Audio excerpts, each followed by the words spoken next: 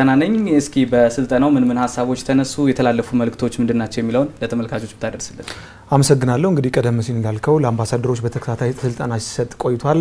በተለይም ደግሞ ለሁለት ሳምንት ስልጠና ሲሰጥ ቆይቶ ዛሬ ማጠቃለያውን አግኝቷል። ማጠቃለያውን ያገኘው ደግሞ የኢፌዴሪ የውጭ ጉዳይ ሚኒስትርና ምክትል ጠቅላይ ሚኒስትር አቶ ደመቀ መኮንን በተገኙበት ነው። እንግዲህ ቀደም ሲል አንተም እንዳልከው ለአዳዲስ ተሿሚ አምባሳደሮች ነው ስልጠና ሲሰጥ የቆየው።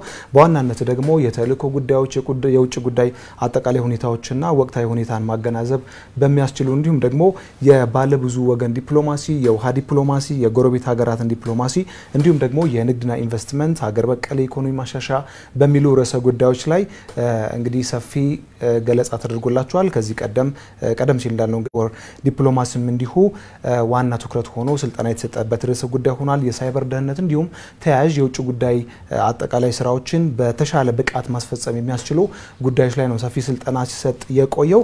እንግዲህ ይህ ስልጠና ዛሬ ማጠቃለያውን አግኝቷል። ቀደም ሲል አንተም እንዳልከው የኢፌዴሪ የውጭ ጉዳይ ሚኒስትርና ምክትል ጠቅላይ ሚኒስትር አቶ ደመቀ መኮንን በተገኙበት ማጠቃለያ ተደርጎበታል ማለት ነው። እንግዲህ አቶ ደመቀ መኮንን በዚህ ማጠቃለያቸው ላይ በተለይ ላለፉት ቀናት ሲሰጥ የነበረው ስልጠና በተለይ ለአዳዲሶቹ ጥሩ ግብአት የሚሆን እንዲሁም ደግሞ በስራቸው ላይ መልካም ውጤት ለማስገኘት የሚያስችል እንግዲህ የዲፕሎማሲ ስራ እንደምታውቀው ምን ይችል በጥልቅ እውቀት እንዲመራ ይፈለጋል።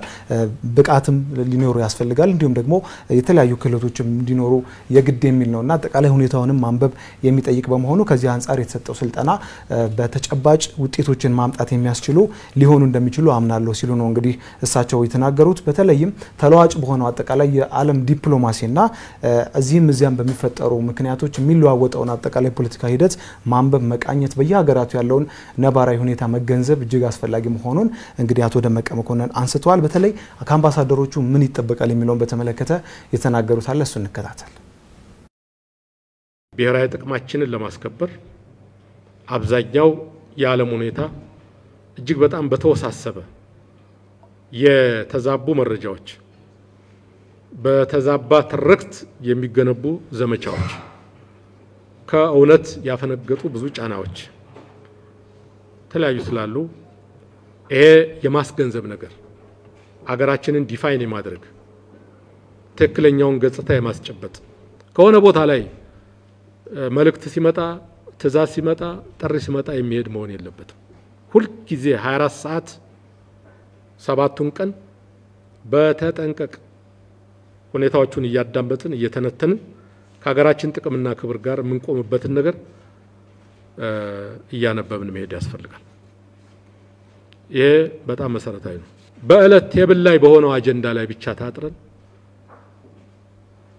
የምንውል ሳይሆን በተቻለ መጠን እያንዳንዱን በር እያንኳኳን ስለ ሀገራችን ግንዛቤ ማስገንዘብ ዓለም ኢትዮጵያን እንዲረዳ ትክክለኛው ነገር እንዲጨበጥ ካስፈለገ የግድ ጄኔራል አሰምብሊ፣ አፍሪካ ህብረት ሌላ የስብስብ ማዕከል መጠበቅ አይጠይቅም። የአፍሪካን አምባሳደሮች ማግኘት እንችላለን። የኤዥያን አምባሳደሮች፣ የኤሮፕን ሁሉንም ሚስዮን ያላቸውን አገሮች ሁሉ ተደራሽ ማድረግ እንችላለን።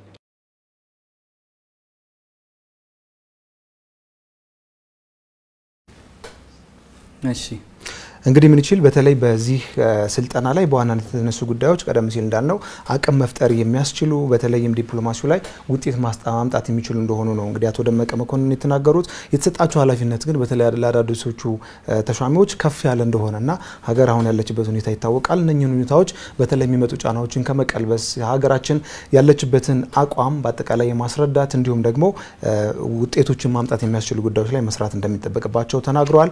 በዚህ በማጠቃለያው መርሃ ግብር ላይ አንዳንድ ጥያቄዎች ተነስተው ነበር። ለምሳሌ አስተያየቶች ተነስተው ነበር። ለምሳሌ ሰባ በመቶ የሚሆኑት አሁን አዳዲስ የተሾሙትን ጨምሮ ማለት ነው የአምባሳደሮች ሰባ በመቶ የሚሆኑት በካሪየር ዲፕሎማት ወይም ደግሞ በሚጠበቀው ሂደት ውስጥ ያለፉ ናቸው እና ከሌላ ቦታ ተሾሞ የመጡ ሳይሆኑ ማለት ነው። ሰላሳ በመቶዎች ናቸው ከተለያየ ስራ ዘርፍ መጥተው የተቀላቀሉት እና ይሄ መሆኑ በልዩነት የተሰጠውን ትኩረት ያሳያል እና ይሄ በጣም ተቋሙን የሚያስመሰግነው ጭምር ነው ሲሉ እንግዲህ ተሳታፊዎቹ በስፋት አንስተዋል። ስልጠናው ተከታታይ ቢሆን እንዲሁም ደግሞ ተቋም ቢታገዝ የሚሉ ሀሳቦችም ተነስተዋል።